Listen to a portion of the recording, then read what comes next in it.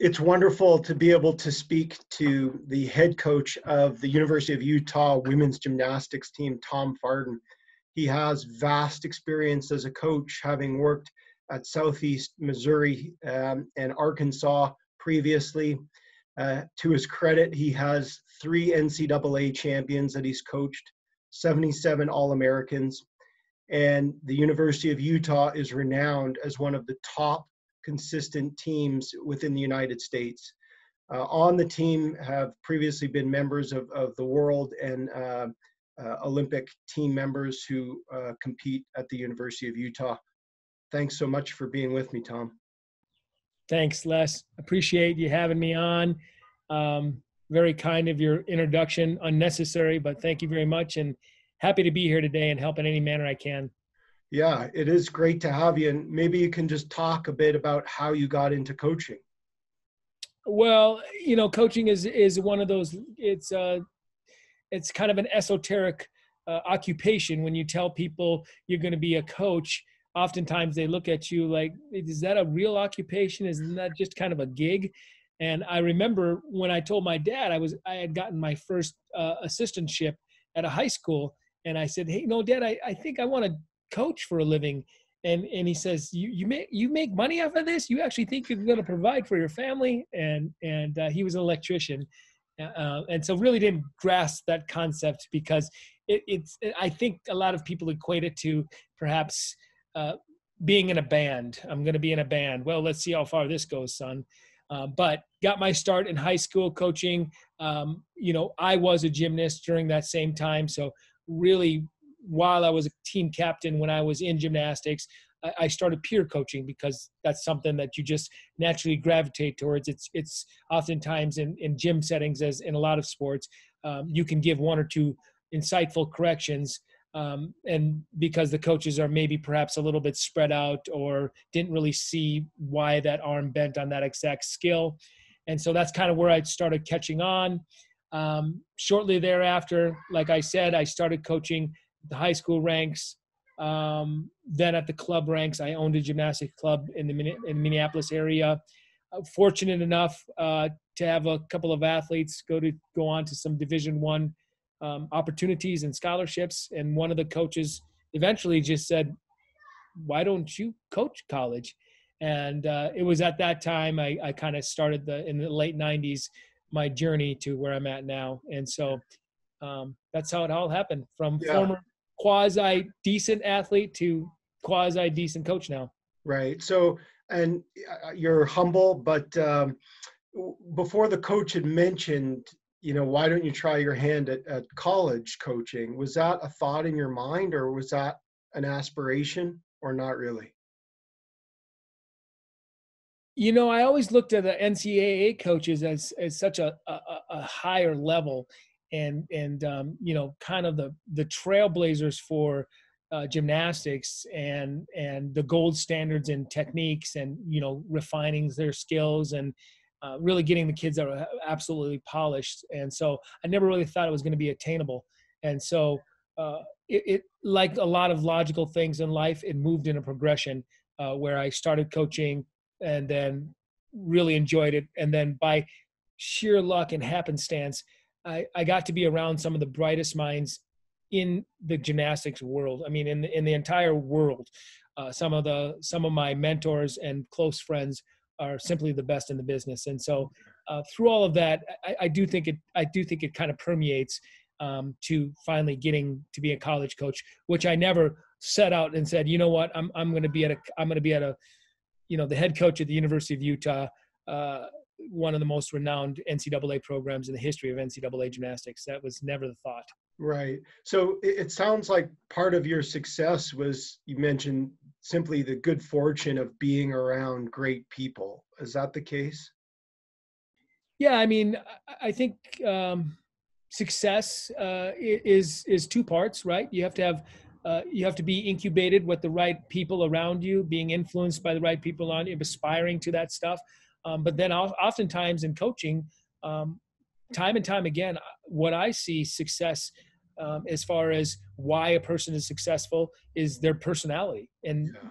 that's often the in my opinion sometimes the greatest determinator if if one of my one of our athletes is going to be successful yeah so in terms of kind of just going back to coaching and i'm curious kind of how you ended up getting your first position at southeast missouri so i i was uh, an assistant at southeast missouri and um, 2003 had rolled around um, and my boss has had left and departed uh, to to um, pursue other opportunities. And the athletic director at the time, I was I think 27 or you know I was pretty young, uh, maybe 27 or 28, but um, he had said, "Hey, you know, we'll let you apply if you want to apply. Uh, we've got some other really great candidates." Um, and so it was a funny story because I'm not sure they really wanted me to get the job, but they gave me the interim job and and basically you know you got to coach for your life. And it was pretty exciting. I mean you're so young you don't even know. So uh, you're ready to run through a brick wall like the one behind me.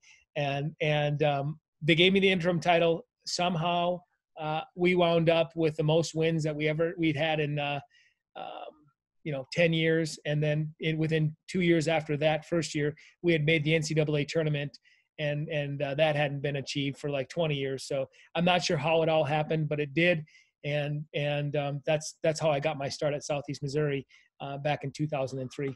Well, and you mentioned that point about personality, and I'm wondering kind of what role would that play maybe in your success as a coach and also in terms of what it takes to be successful as an athlete well personality is is the root of how we operate and and how we respond in a lot of uh, different situations. Um, beyond your personality, uh, I I think it's important to try to figure out, uh, you know, what motivates, what makes people, what makes that person tick. And so, you know, I I really appreciate working around people um, that or working with athletes that have a chip on their shoulder.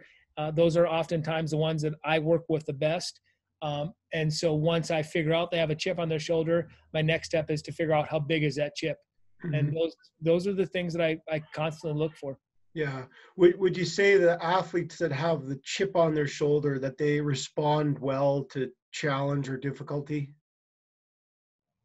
Yeah, they're relentless in their um, pursuit of proving people and proving themselves. Yeah. and and sometimes that's ego based I, I i understand that. Sometimes it's ego based but sometimes it's just so it's just um solely based on the fact that they want to be great and they want to take it to the their absolute best. So if they had a setback like an injury and they have to come back from that then their sole mission is can i get back to where i was? Yeah and and so it sounds like the athletes that are successful in coming back from an injury that they have a very linear or narrow focus. Would that be an accurate statement? Yeah and and um i i think they're they, they oftentimes they're not always type a but they they are always somebody who has that kind of tunnel vision especially during that time that they're trying to come back. Um they're just so diligent and and and thorough you know a lot of the athletes that come back and come back really well from from injuries are very thorough people. Yeah. Would would you say tom you notice differences in the effectiveness of some athletes in, in their recovery or ability to return? Some maybe are able to get back at a high level others maybe less so and and if that's the case what do you attribute that to? Well some people naturally can get back to you know a very very high level because everything worked out medically. Their surgery worked worked out medically. They had the right tendons the right tendon strength. Their ligaments weren't overly damaged um, you know so there's a lot of things that go into that.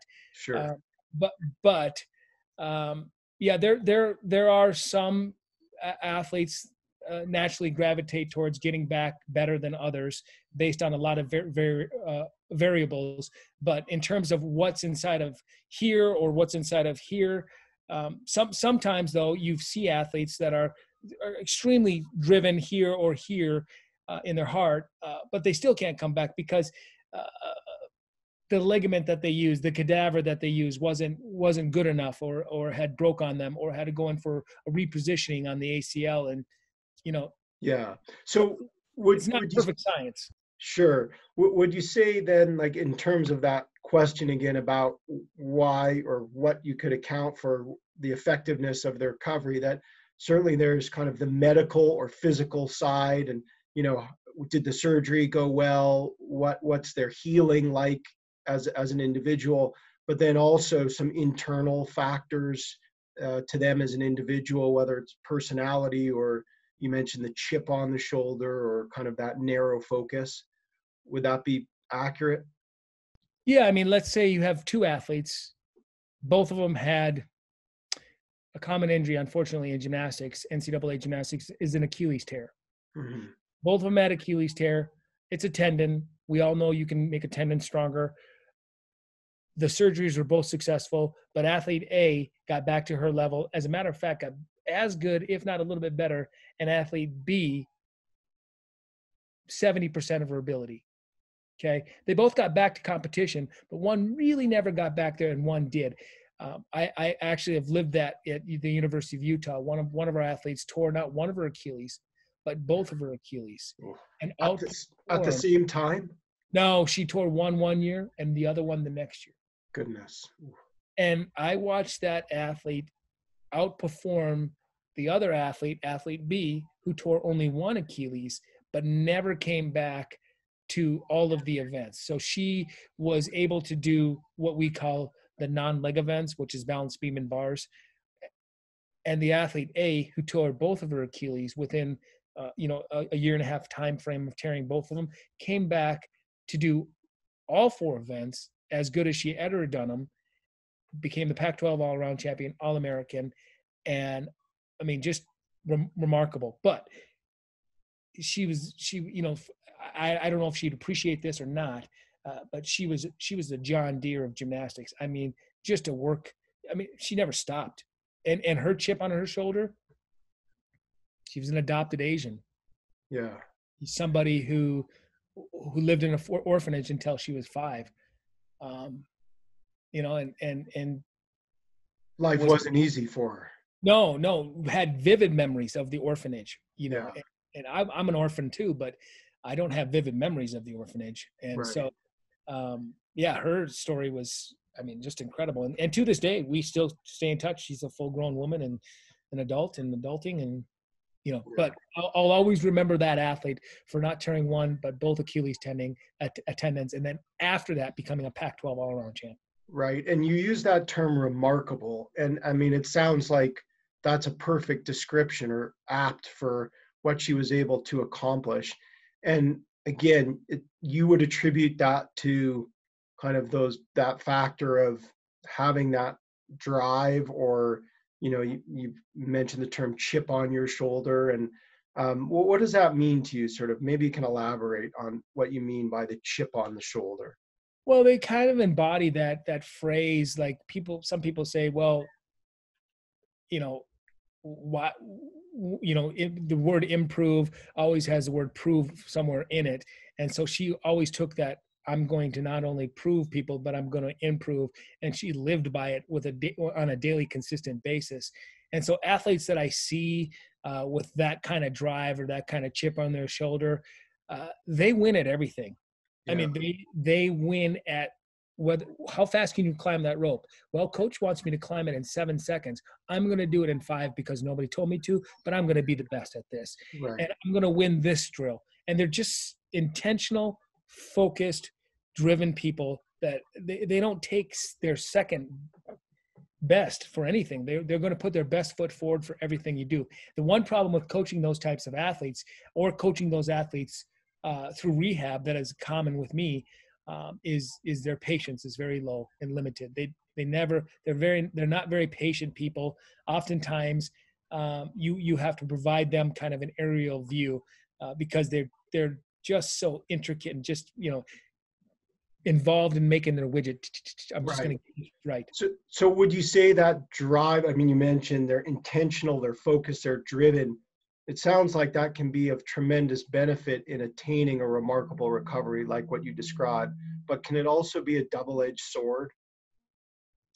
Yeah i mean anytime you're that type a um, you you can you can you can be intentional but you also those people are so driven on coming back they can come back too fast. Right. they can they they uh, will push themselves too much to the point of fatigue um, and possibly injuring themselves again um, this is the same athlete that was pushing it too far on her little scooter you know she was going too fast on her little scooter wanted to get this wanted to do that and she fell on her scooter and tore open her stitches and had to get restitched where her achilles tear was yeah. so again do I absolutely remember all of the things that she accomplished as an athlete? Yeah, but I also remember the other side where she was pushing herself too much, going too fast, working through things, whether she was getting her laundry done or whatever it happened to be that day. Um, you know, she was so task orientated, she didn't take the proper steps on, I need to be safe. It could be a little slippery out. I'm on my little wheeler with my Achilles. Slipped, fell, and and and retore open the, the stitches. Oh, yeah. So how how do you as a coach kind of moderate that intentionality, that drive, that desire to do more rather than too much rather than not enough you got to keep them light those type of people you've got to have humor involved make them laugh a little bit make them feel like yes they're human and and allow them to make some mistakes along the way you know to have some minor setbacks and and tell them that it's okay. I have to you know at this level of coaching um we've been very fortunate been in high performing uh, women's gymnastics team for 46 years, and and um, my job a lot of times, obviously, there's a technical aspect, but the other aspect of my job is taking the pressure off of these kids. And so I find myself working with these these level athletes, and so and the way they're so tightly wound that I have to pull pull them back a little bit and let them, you know, be just be a be a 20 year old right aspiring person and and know that they're going to make some mistakes along the way and take the pressure off them from time to time right. So to that point about pressure i'm wondering what are some of the challenges that the injured athlete experiences uh, specific to the injury itself or their recovery? What are some challenges? Well you know the challenges with injured athletes it, it, it obviously it goes with a lot of things in terms of the scheduling of the of the injured athlete with getting all of their appointments done, making sure they can balance their work life because they're they're expected to be a student athlete, right? So they've still got to maintain being a student athlete, but now on top of that layer of being a student athlete, going to their classes, they've got a whole nother layer of doctor's appointments, treatments, recoveries, nutrition appointments. I mean, all of those all of those plates have to be spun for their recovery to go the way they want it to.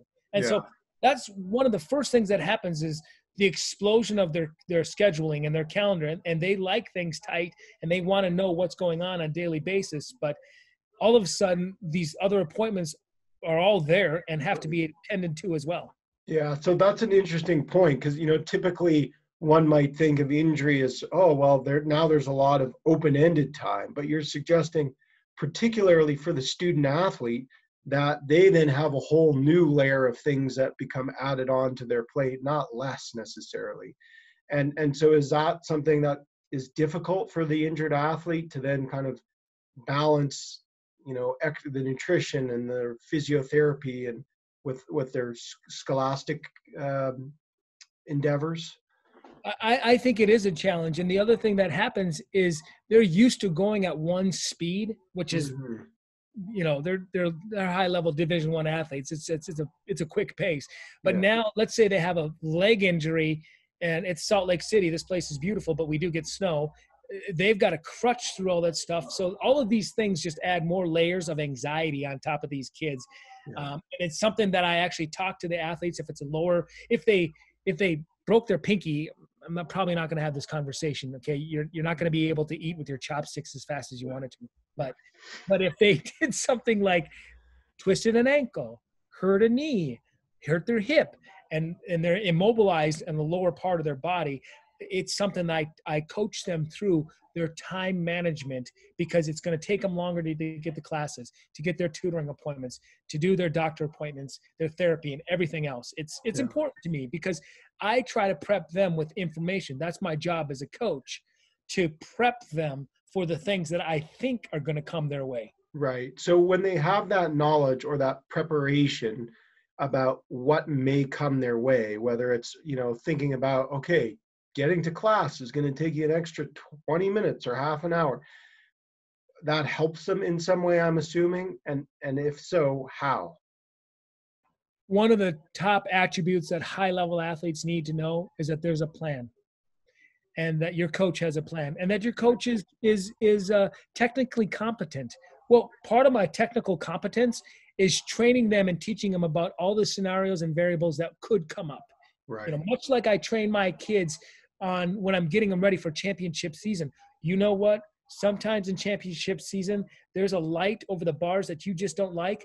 And so what do I do? I make sure that there's a light over my bar area that they just don't like, or there's some loud music all of a sudden, or or the music gets shut off during the floor teams. I mean, all of these stuff all that stuff is done in preparation for competition but it's also in, t- in, preparation for them to expect the unexpected and so if i can tell them this information about hey listen your schedule is going to get blown up with all of this stuff uh, you need to be prepared for x y and z right. uh, it's my it's my duty to to to give them a warning so they they can k- kind of start thinking about it let it let it marinate for a little bit and then be prepared because that that's one, another thing that I notice with the level of athlete that I fortunately get to work with is they're very uh, they want to have a plan, they want to know the plan, and they want to be that want that plan to be communicated to them. It's very right. important. Is that all the more important in the case of injury? Knowing the plan, the progression, the you know, imagine time is a primary focus. Clear support for the athlete when they're coming back is critical. This is your athletic trainer. This is your physical therapist. This is your massage therapist. These are the recovery leggings you're going to wear. This is the you, you know what I mean? Like what what are we doing? Let's type up this program on my laptop at any given time. I have rehab programs in the gym for every body part minus you know maybe if you injured your ear or something like that right, but right. everything else i've got programs that we design for every minute for every minute of the day that they're in there. Right right. And and so you know it sounds like they're used to really sort of having that structure and that routine. Would you say that's then sort of helpful to then carry that over into the rehabilitation experience? Helpful and expected at this program. Mm-hmm. okay. So that's kind of just part and parcel of what you expect is that they're going to maintain some type of regular schedule routine with their training and their yeah and um in terms of you mentioned anxieties, and so I, I want to just touch back on that point. For the injured athlete, what are some uncertainties that they may have? Well, they always have the usual ones. You know, when am I going to come back? How long is this going to take? But some of the ones that they don't necessarily always think about is is is um, uh, how how how is, it going to hurt if I try this skill again? I mean, those are, you know, those are some things that are deep rooted. So once they start coming back to it and they actually start doing that skill again, yeah, perceived pain is is a is an anxiety. The length of time that they're training is an anxiety. Um, earning their spot back in the lineups if they were in our rotation. Like I'm out of the rotation now.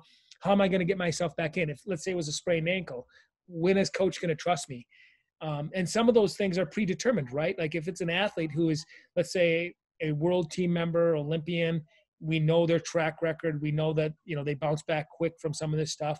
You know, we're probably going to give them the benefit of the doubt. If it's somebody who's this is their first sprained ankle in their life, we don't really know how they're going to respond to the new added pressures of landing or taking off with a with a let's say a sprained ankle or coming yeah. back from one. Yeah, you mentioned pain, and I'm interested in that point in particular. Uh, you know, what are some things I guess that um, the athlete um, finds painful? Obviously, there's the physical pain of, of the injury, but you said that I think some athletes are able to kind of manage that differently, or um, maybe you can elaborate on on the relevance, I guess, of pain in, in recovery.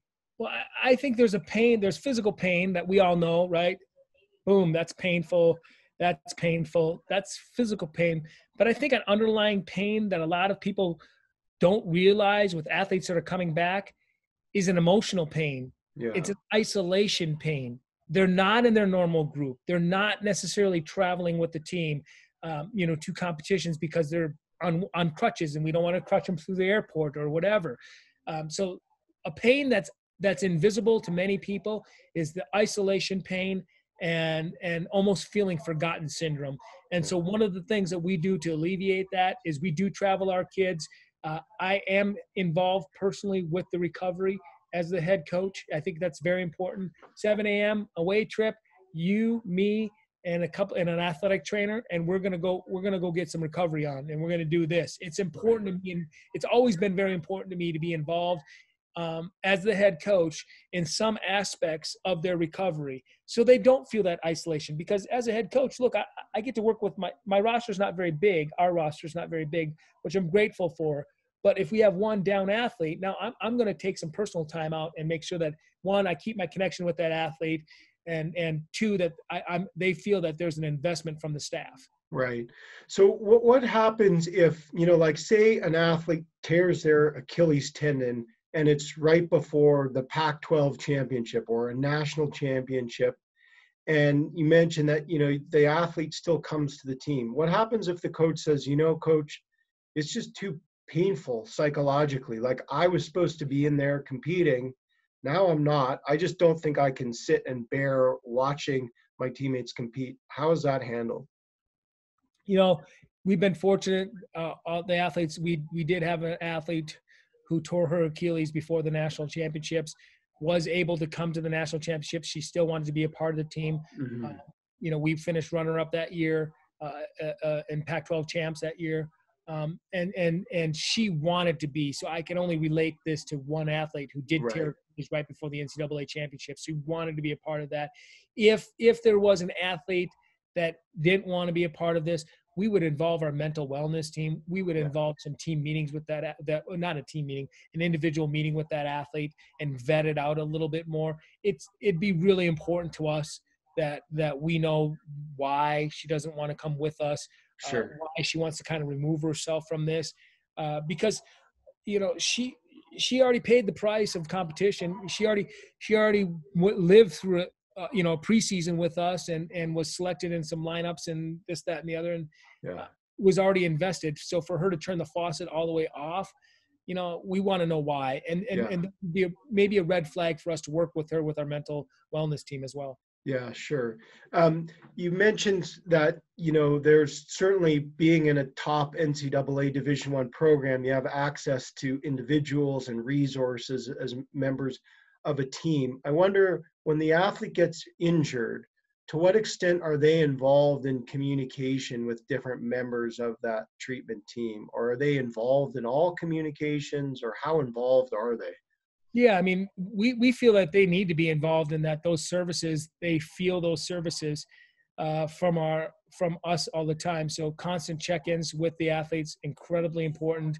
Trying to put your arm around them, and show them that you care and continuing to tell them about the opportunities um, and the and the resources that we have here uh, that's important to us. So um, some some are a little bit more bashful and and some some never need it. Like one of our the, the one athlete who tore both her achilles she never really sought out any help but we always told her that we were there for her. Right it's definitely based on an individual, but we sure. want to make sure the kids know that they're there. And for the, the, the programs that are working at uh, uh, uh, Division One programs or Division Two or Division Three that maybe don't have those resources, um, you know, the coach really has to wear a lot of hats in that case. Where yeah. Southeast Missouri, it was me and one other coach. We still had injuries at that school. How do we motivate our kids to get through that stuff? Uh, you, you, as a coach, you're you're you're going to have to dig deep uh, between your staff, whether it's one you and one other coach, or you and that part-time athletic trainer who maybe is a graduate assistant. Um, but you're you're you're going to have to be resourceful and creative. Right. So depending on the type of program you're in, you may have to It sounds like assume more or less roles. But um, I also just wanted to touch on that point about uh, that I thought was really interesting. It almost sounds like it's the perception of the availability of support that matters more perhaps than the actual support. So, you know, you mentioned this athlete who came back from the Achilles, and it's like, you know, she didn't really want or seek it out, but she knew it was there. And it, am I correct in that that's what's important in in you know if she wanted it she could get it yep eh, they they've got to know that we're doing everything we can to help them with their comeback and that right. we're 100% behind them that we're the main tent pole for their recovery. And if they know that and they feel that sometimes that's enough. And they those athletes don't reach out to all of those different individuals that we actually have. Yeah. Uh, but but yes i mean I, I think that's i think that's the uh, that can be said for a lot of things in this world that they know that those resources are there for them uh, at their disposal and some will take them up on you and some won't. Um, it depends it, it, again depends on the the person. And i and i think it takes a lot for uh, a lot of the athletes that we're luckily get to recruit here very prideful people maybe have some you know a good level of ego and confidence and that that kind of thing. And, and they may not want that stuff but you have to offer it to them because you never know which one's going to strike a chord with them and they'll actually take you up on it. And it might be the small little thing in the equation that gets them 100% back. Yeah. What would you say and, and you know maybe this is of course specific to the experience you have working with injured athletes that there's some reluctance on the part of the injured athlete to indicate that they're you know compromised in some way or i don't know they're vulnerable. because yeah those athletes are already vulnerable because they're perceived as weak because they already got hurt. So right now right there they're already feeling weak. Now i'm going to go see a sports psychologist or i'm going to go see a nutritionist or a therapist another type of therapist. Yeah. well how much more do i put what are the optics of i'm showing my team if i've got to get all of this and i'm hurt? And so they're they're at a very vulnerable and fragile stage. And and it's important that you you got again so many times with the level of athletes that we fortunately work with we've got to take some of that edge off of that. We've you know we've got to let them realize that they're just human like the rest of us and pride should be taken out of the equation of your needs if it's something that you need remove pride and uh, and fulfill the need. Yeah, so it's it's important, or there's benefit in the athlete kind of taking their pride out of the equation and just getting what they need to help their recovery. Is that right? Yeah, but easier said than done. Right. And so, in terms of, I guess, to the point about helping them or or doing, so to speak, the uh, business of effective recovery, you mentioned that term care. And I wonder if you, you could elaborate a bit more on what that means to you and how you demonstrate care for the injured athlete.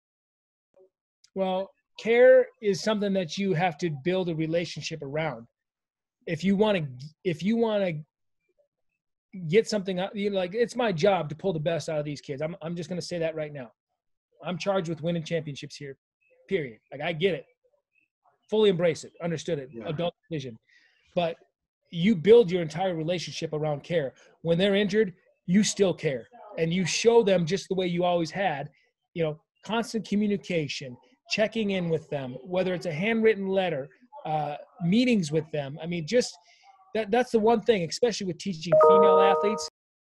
The, the one thing that I, I, I know we've got to build strong is a good, strong uh, foundation of a healthy coach athlete relationship. Yeah. and, and that involves a lot of communication um, and and you know at all of our practices at all of our meets i start with a meeting and i end with a meeting. And when i mean meeting sometimes our meeting is 30 seconds long. It's one minute. It's the priorities for the day. And then i recap things with what i saw during that practice. Same thing happens at a meet at our competition you know it's they they want to know feedback high level athletes need feedback. Feedback to them, positive feedback to them is caring. Yeah.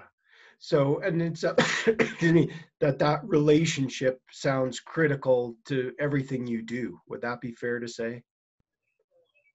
Yes. Yeah. yeah. The relationship, uh, with without it, you won't go very far. You, are going to get far better results when they're injured, when they're in the highs of highs, when they're not feeling very motivated, because motivation undulates. Yeah. You, if, if you have a built-in relationship with them, you can have those challenging conversations. Uh, when they're injured and you've already built and established a caring relationship with them, they know that when you're pushing them, you're doing it for the betterment of them. Whether whether it's the betterment of them getting back from the injury or the betterment of them, you know, uh, uh, getting through the emotional drain and and the um, you know the disappointments. Right, right. And in terms of that point about motivation undulating, would you say that's also the case in terms of an injury recovery? Yeah, oftentimes when they're first motiv- when they first injured, uh, motivation is at an all-time high. I'm going to really get through this, and then the grind sets in, and they're like, "Hey, wait a minute, this is a year recovery," and so when that grind comes along, that's when you know motivation's really got to dig deep, and, and you, you've got to keep you know restoking the fire per se. Right. Uh, and so, you know, I see it all the time. You know, and it's natural. It's natural as a human being. I don't know if any of us are, are, are at our very best at a motivated level, 100% all the time, 24 seven. There Sure. might be some people out there. Yeah. So h- how does the injured athlete restoke that fire, as you say, when, you know, particularly in the case of a long recovery where maybe, let's face it, the exercises are tedious or maybe painful initially, physically, just, yeah, boring. How do you stoke the fire if you're the injured athlete and you're seven, eight months into an Achilles or ACL recovery? The injured athlete, the supporting cast, and the coaching staff have to have great enthusiasm for the smallest of victories. Yeah. I mean, it is it is the cure to so many things. Enthusiasm, genuine enthusiasm is is an unbelievable cure for a lot of ailments in sports. Yeah. So celebrating those small victories. And I guess in terms of a progression of recovery, what might I'm thinking what might be some of those small victories that the athlete could celebrate or be genuinely enthusiastic about? I mean, I, Achilles kid, let's just say Achilles kid because it's it's a year long process, and I've I've watched it enough. You know, the first thing that the, the athlete's going to do is they're going to have a successful surgery. And with an Achilles tendon, it's not like an ACL where you have to let it come down for a month and a half. I mean, I've seen that happen where you've got to let the swelling come down in that knee, and it sometimes takes four to six weeks before they can even go in on an ACL. Um, you know, Les, you know, you tore your ACL. Takes Yeah. a long time for them to even Yeah. go in and, and, and start poking around down there. Yeah. But Achilles tendon, they're in surgery one day later, or they can be because it's a tendon. Um, so there's your first victory. They got their Achilles tendon. It was success, successful. Their next victory is going to be when they get their stitches out. Then the next victory is going to be when when they get off that little wheelie cart that they ride around, and they're actually on in a boot, but they're on crutches. Then their next one's where there are no crutches. Now they're just in a boot. The next one's when they get to wear a real shoe next to their other, other real shoe. So they have two cute shoes. yeah. Uh, that, those things are important to girls. Like they they want their shoes to match. They care about what their feet look like. right. To women, excuse me. Um, and and so those those I just brought you through the first you know 12 to 16 weeks of, of an Achilles uh, tear re, uh, recovery. And, Right. and you can find those every couple of weeks, every two to three weeks, maybe four weeks. You can find those small victories to celebrate because you know you're on your way to where you were. Right. And so I'm guessing the attainment of those milestones or goals, whatever term you want to use, then has motivationally beneficial properties or is enhancing for the subsequent motivation to get to the next milestone. Well, yeah, I mean, in the sport that I I work with, um, everything is based on in, in most sports too. But it's a thousand to learn, two thousand to master a skill, and and so it's it's it's in their brain. It's etched in their brain that things are done numerically. Okay, well, this week I did this many toe lifts, and then I get to mo- remove the shoe. Okay, well that that makes sense. So they logically can tie those two together. Oftentimes, you know, in, in like I said earlier uh, logical things move in a progression. So logically, these athletes are going to categorize. I've done these men, this many repetitions on this specific exercise that's going to help me to achieve this. Right. And kids, uh, our athletes can compartmentalize those equations in their brain and realize I'm making progress. And if you were a gymnast at the level we recruit at, you you know what some of those repetitions, uh, the meaning of some of those repetitions to the end the end result are. Yeah, and so I think that's a great point. The the fact that it's not just about kind of getting certain milestones, but it's that they know that attaining certain things is then connected to the skills that they're needing or wanting to be able to perform right so there's sort of that link or connection between those two things like okay now that i can do this with my ankle or knee whatever that will enable me to better perform this particular skill is that right that's exactly right yeah. because they can make all they can connect all of those dots Right. Okay. And so it almost eh, to your sort of analogy about connecting dots, would you say then like being able to see all the little steps on the path to recovery and to visualize it or articulate it that that's important for the athlete or those around them to be able to sort of help them see that path? I, I think so. I, I think, like I said before, uh, it's so important to me to to uh, lay out the plan with the, my athletes at the beginning of the year. We are in a 15 week cycle. We break it down into uh, four um, uh, micro cycles on that, and then within that, we break things down within a week cycle. So yeah. we have a load day, we have a build day, a load day, off day, a build day, a load day, and then we have a kind of an active recovery day. I mean, they know our exact training pattern, and it, it takes a while to get used to it, but they know exactly what is behind it why we're doing it. We explain all that stuff. And I expect our athletic trainer, our physical therapist, and the people who are working with our recovery, including myself, to have those same explanations and quote unquote roadmap for their recovery as well. Right. Would you say the roadmap is a linear one or is it, you know, what, what should the athlete be expecting? Is it sort of more curvilinear, up and down. How would you describe that, Matt? Circuitous? I don't know what other adjective to throw. uh, Circuitous, that's a good one. it's not exponential, I'll tell you that much.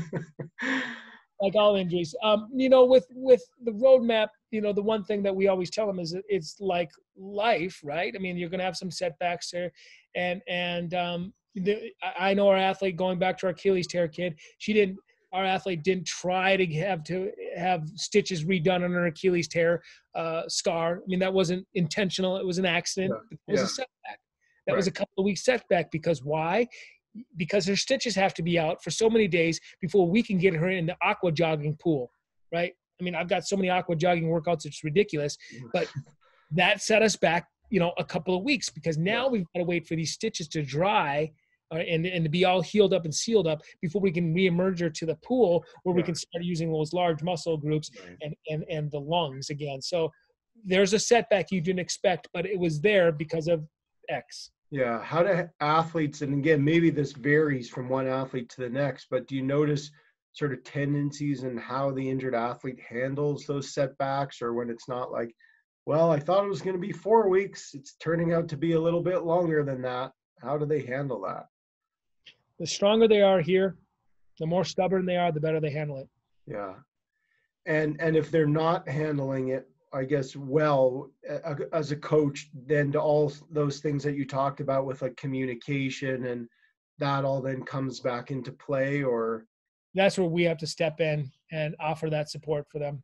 Yeah. Okay. Um, we recognize that too, and and um, you know they're not always gonna. They're nine times out of ten, the 18 to 22 year old young, young emerging, you know, young women and emerging adults, they're not going to come to you. You you have to be a little bit of a dentist and pull it pull it out of them, pull pull that mm-hmm. a little bit to get it out of them. What's going on? Let me know how you feeling about this setback. And um, you know their their initial response is they're gonna I'm fine, and then you got to you got to dig a little bit with them. But again, that goes all the way back to what's your relationship with that athlete. Right. And and I, so obviously, or I shouldn't say obviously, but I would imagine that when you have the good relationship with them, that and you get to know them, that maybe it's easier to pull the the tooth maybe a little bit, uh, or you know maybe I guess there's behavioral indicators uh, uh, of when they might not be feeling great with their rehab or those kinds of things. Um, you've talked about drive, and, and I guess we talked about motivation but i just want to come back to that. Is is the reason why the athlete is recovering is that important to their recovery? Or is it really just about kind of how much motivation they have? Does it matter why they're coming yeah. back? Sometimes the reason is greater than their than everything else and and sometimes it's just because they're intrinsically motivated. I, I think if they had a reason to come back if it was you know i got to get my spot back my parents really expect me to i want to win this perhaps that's kind of some extrinsic motivation uh, if it was i want to be back because i want to prove to myself that i can do this sport again at the level that i was at i'd, I'd consider that more intrinsic motivation and right. i think people waif between the two of those and I think they're both beneficial. I mean, they're both, you know, obviously the internal motivation is the one that burns. You know, it's kind of like coal; it burns long and it's it's hot and it's just kind of there and it's gritty and it's dirty, but it's there all the time. And yeah. the extrinsic one's kind of like burning some pine wood, right? It flares up, super pretty, very bright right away, maybe hot, but as we all know, pine burns quickly and, and could be, you know, exhausted in a, in a few weeks. But yeah. So to that, and your analogy, Tom, given sort of the long, slow burn of the intrinsic motivation, would you say that that's almost a prerequisite or needed to um, an effective recovery? And I don't want to put words in your mouth. No, I, I don't think it's always an effective. I, don't think it's always a, a, a pre-qualifier. Um, I've seen kids who their intrinsic motivation isn't that big pile of black coal that just kind of it's yeah. just there, right? Yeah. But they're a freak athlete. That injury wasn't as bad as what we thought it was because they're a freak athlete and they're so hyper talented. Their extrinsic motivation pulled them through their uh, three and a half week recovery. Yeah, yeah, okay. Um, so, in terms of uh, just a, a, few more questions, and yeah, I very much appreciate and, and love the insights you're sharing. It's great. Um, in terms of decisions about when the athlete is ready to return. How do you know when when that's the case? Well obviously with gymnastics there's a lot of tests leading up to it and thankfully in my sport there's a lot of logical progressions that the athletes have to attain before we'll let them do it. Let's say they coming back from a broken hand. Well i know that at the bottom of a strong G, the, the G force at the bottom of a giant on a strong bar swinger is seven Gs. Like I, I know that. So we're going to test other things outside of that to see how close we can get to that before we actually let that athlete swing around the bar without her hands slipping off and right. Yeah. Yeah. Um, the same things in a lot of other, you know, a lot of uh, my other, you know, the other events that I get to coach is there there are things there are load tests that we can make before we can do this and so through science data research we've been able to come up with for most of the injuries we've had because um, we haven't i haven't been experienced to every single injury in gymnastics right uh, but I, I, can we have some uh, logical benchmarks made through either load bearing or some other measurements that we know that the athletes you know or a progression or a drill or a lead up drill or, or a similar skill that we know that athlete's most likely going to be ready for this skill. So we communicate with our athletic trainer who doesn't have the gymnastics and technical expertise, uh, but has the medical expertise, and then also our strength coach who, hey, you know what? She's her her load is X. She should be good to go and and handle that landing. Great. Here's where she's at. Uh, here's where she's at at her blocking point the arc of her hips are at six and a half feet. I really need to see him at seven and a half feet before you let her land it, blah, blah, blah, whatever. The right. equations are all there, but with consultation from our athletic trainer and our strength uh, staff and our, and our entire staff.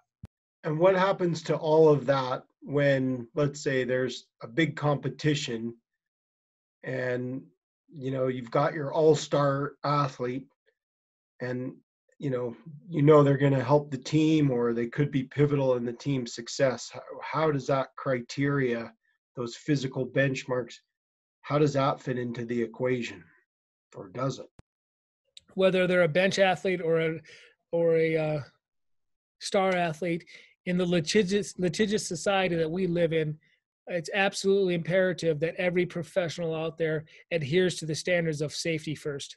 Yeah. And so the the main consideration is is are are they you know like physically there can't be sort of knowledge that they're putting themselves at risk for further damage. Is that right they've got to be physically emotionally and mentally ready right how do you assess whether they're emotionally or mentally ready to return to play Um, well, I mean, you know, the return to play is is is again a lead up. It's it's not something that happens overnight, and so yeah. we're we're going. They're they're they're not going to be well, at least at our program. They're not going to all of a sudden Friday look really good, and then Saturday, hey, you're in. Let's just yeah. do it. Now they're gonna they're gonna have some proving points, and and and we're gonna make sure that they're going to be able to execute the skills that we need them to execute um, in the manner that we need to execute them. Whether we're doing some simulations in the in the gym or or however we're handling it, but um, some some type of mock performance has to occur before the real performance. Right. So I, I like that idea because it's sort of like it's not just like the rehab ends and then the next day they're competing. It sounds like there's still sort of benchmarks or certain criteria mentioned and, and sounds like it's very specific. You have, you know, data and information relevant to particular injuries that they need to be able to show proficiency in. Is that correct? Yeah. And and in that, is there also some sort of like, I guess, behavioral observation or some discussion with the athlete if they're feeling apprehensive, or it's like, well, okay, I, I noticed they're, you know, they're not quite as decisive as they need to be in that movement. Are those things that kind of factor into the these return to play decisions, or not necessarily? Yeah, they are, and and thankfully in NCAA gymnastics, uh, we we compete six, but in most NCAA competitions, they allow you an exhibition. So, like an unattached runner in track and field, you know, we're allowed to compete another athlete uh, that will be judged in front of your fan base um, or in a pose at an opposing school. You're you're allowed to compete that athlete uh, without counting uh, towards or against your team score. So uh-huh. one of the, one of the great things that our sport did many years ago, and they're they're not the ones that get shown on TV. You know, that's after the rotation's over and and the judges just judge, so you don't get to see them on TV. Right. Um, but you, there are athletes going and just showing the judges in front of a crowd, in front of their team, in front of their coaches, hey, this is where I'm at or maybe we use that exhibition it's actually called an exhibition spot. Maybe we use that for an athlete who's not injured but really pushing those other athletes for a, a, lineup spot and she outscores the other kids in lineup. Now we have justification as a coach to slide her into a lineup spot the following week. Yeah so it sounds like there's real value in having that exhibition spot whether it's for the injured you know the uninjured athlete trying to prove themselves perhaps or the injured athlete who maybe just needs the opportunity to perform in front of a crowd or you know at an event. Um, yeah okay. Um, we talked uh, a little bit about this but would you say there are any benefits to an injury? Yeah i mean i think oftentimes uh, we're all injured right now. I mean it's we're we're living in a covid uh, pandemic and uh, we all had something taken away from us um, I had the ability to go into the gym. It's my happy place every single day, and and and go to my office every single day. And so I do believe, much like what's been taken from all of us right now, uh, when your sport is taken from you and and you you thoroughly love it and enjoy it, uh, it is a it is a reminder. Uh, sometimes painful, sometimes a harsh reminder of how much you actually love that sport. Yeah. And and, and uh, in gymnastics, it's a feeling of flying and, and I'm so old now I don't remember competing, but eh, you know that that was the one thing that you know once it's in your blood, it's in your blood.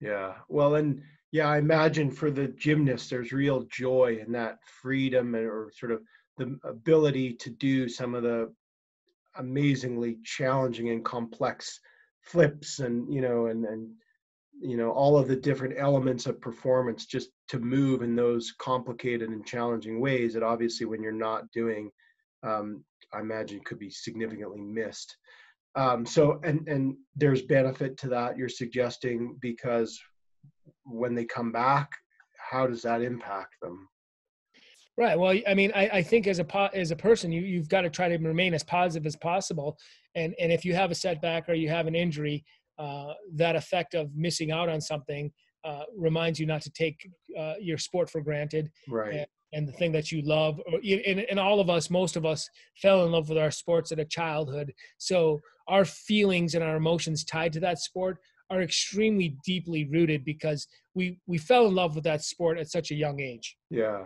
so kind of maybe if they have sort of renewed conviction or they get back in touch with the things that they love or miss about the sport for instance when they were young um, that that then has maybe behavioral implications kind of once they get back that maybe they're willing to do the small things or you know is that accurate or? Yeah i, I definitely feel like once they get back and they're you know 80 85 90 95% back to uh, you know healthy uh, I, I, think they soak it in a little bit more.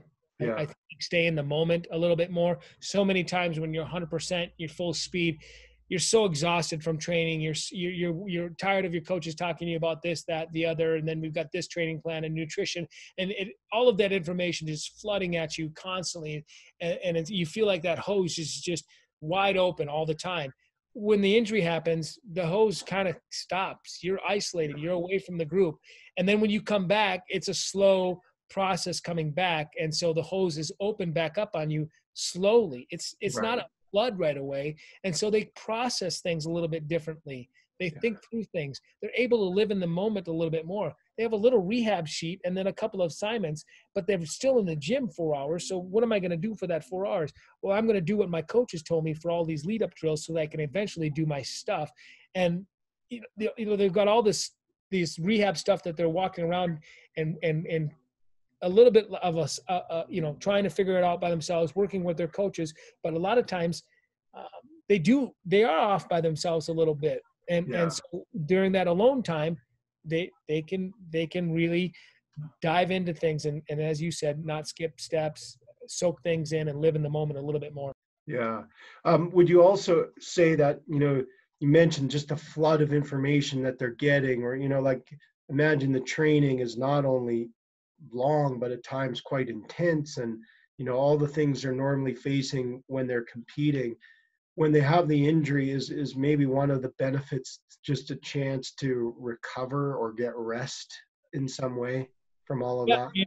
I mean, we we had an athlete over the years who who ended up hurting her toe, but but because of her her toe, she was able to rest her back because because her toe was off a little bit, and her back was getting whacked out, and so yeah. it actually gave her a chance to rest her back, her toe, and everything else. So yeah. it does give you a chance because let's say it's a lower uh, extremity ailment. Um, if you're resting that, you know, obvi- you know, something else might be getting some rest too and some recovery. So right. again, injuries, um, they're they're a misfortune. They're a part of sport, um, but sometimes there's always a silver lining. Yeah. Okay. Um, just my last question, Tom. If you were to give one piece of advice for the injured athlete, what would it be?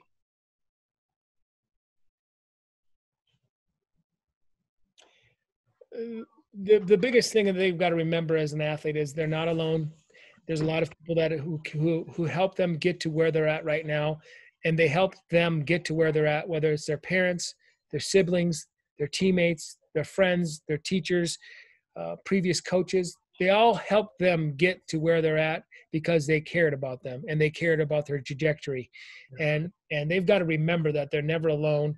Um, sometimes they feel very isolated and i don't want people to do that. I i, I it, you always hear about the heroic ones the ones that got back and they did something that was unbelievable. Well there's a lot of them that that they gave it all they had and they still never got back to where they wanted to be. But right. that doesn't make you a failure.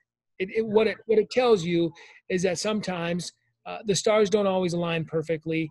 Things don't always line up perfectly but but never in, in a million years uh, is injury necessarily it's not your fault. Sometimes you can't explain why they happen but they happen and you you've just you've got to do the best you can to realize that you're not alone in this. Yeah so getting that support is important and and uh, you know they don't would you say they don't necessarily need to be stoic or or to feel like they have to put it all on themselves but it's okay to seek out and get the you know assistance of, of the different support team or individuals who could facilitate recovery.